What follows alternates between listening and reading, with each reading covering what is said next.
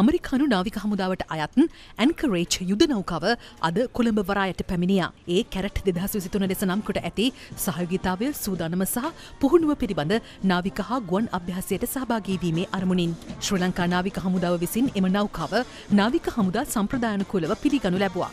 දිගින් මීට්‍ර දෙසි අටක් වන ඇන්කරේච් නෞකාවෙන් හමුද සාමාජිකින් හාරසි හැත්තෑ හත් දෙනෙක් මෙරටට පැමිණියා. ශ්‍රී ලංකා නාවික හමුදාව ගුවන් හමුදාව හා අමරිකානු නාවික හමුදාව මෙම යුද අභ්‍යාසයට එක්වනවා. නාවික අභ්‍යාසයෙන් අනතුරුව ලබන වෙසි හත් වැනි දින නෞකාව දිවෙනෙන් පිටත් ඔයාමට නියමිතයි.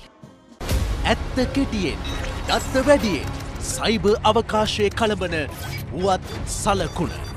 නිවස් ෆර්ස්ට් YouTube චැනලය අදම සබස්ක්‍රයිබ් කරන්න. නිවස් ෆර්ස්ට් ජනතාව සමඟ.